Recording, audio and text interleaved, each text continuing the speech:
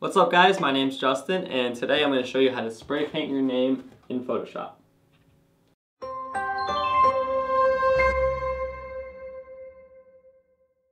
Alright, so this effect is really easy to do, but hopefully you learned some techniques in this video that you could carry on to any of your future projects.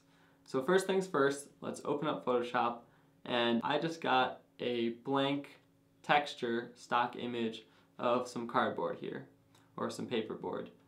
So now that we have our cardboard laid out, we need to get our stencil. So what I did was I went to dafont.com and I downloaded this stencil font right here.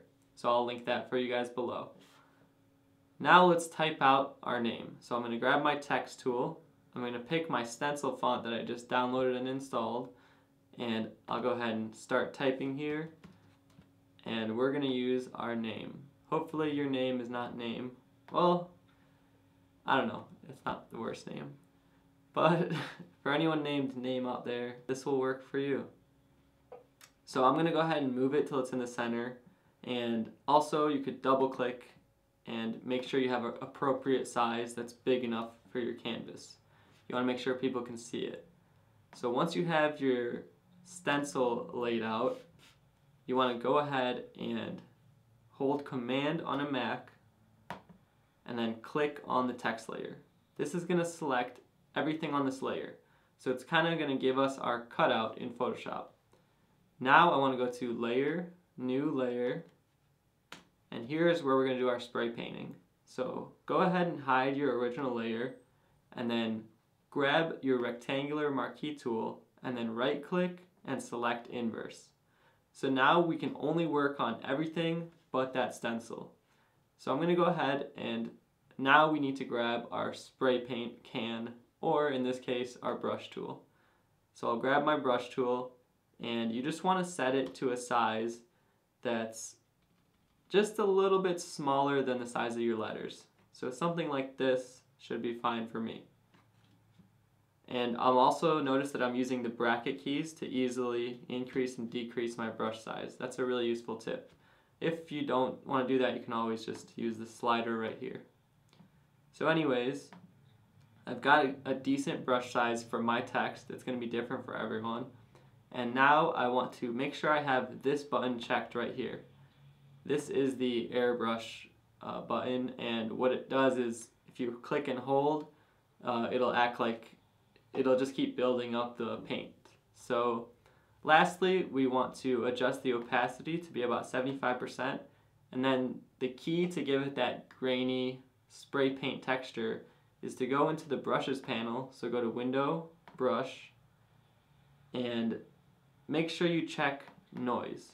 So that's just gonna give it that noisy spray painty look. So now I can minimize my brushes panel and before we start spraying away make sure you pick your color.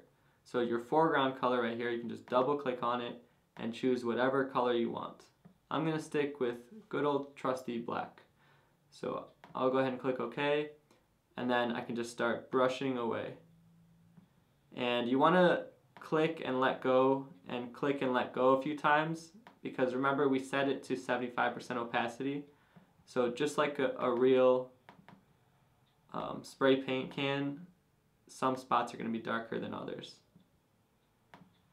Um, you can also adjust the size of the brush halfway through and maybe lower the opacity and just give it some last brushes, kind of as if you were to hold the can a little bit further and just give the stencil some last sprays.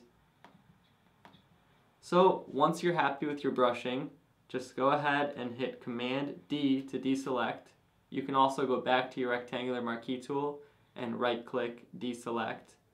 But there you have your stenciled out uh, spray paint look, but it's not quite ready yet. It's a little bit too perfect. So what I like to do is head over to my smudge tool, which you'll find right under the blur tool if you click and hold it. And then I like to set the strength to about 15% and set the size to something small compared to your text for me, it's going to be 30, but you can see in relation how it looks. And then I'm just going to click and smudge around a few of the edges. So this is going to make it a little bit more realistic. It's going to look like the stencil kind of slipped up in places and some spray paint seeped through.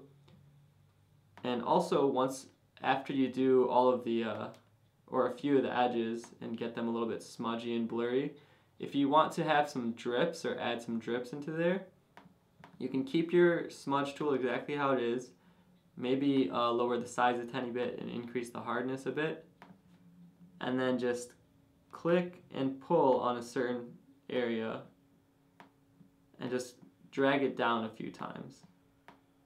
So you can see this drip start to form and you can do this a few different times across a few different areas. So pretty much just play around with the smudge tool just to give it your own personal touch and just make it look a little bit better. And then lastly, if you're working with a color other than black, you can always set the blending mode to something like hard light so that it gets some of the texture of whatever's behind it, in this case the cardboard. And you can also turn the opacity down to maybe like 95 or 90%. So there's your final effect. That's how to spray paint your name in Photoshop. If you did enjoy this tutorial, make sure you subscribe and check out my channel for more Photoshop tutorials and leave me a comment or question on anything you had trouble with or anything like that. So thank you guys so much for watching and I'll see you next time.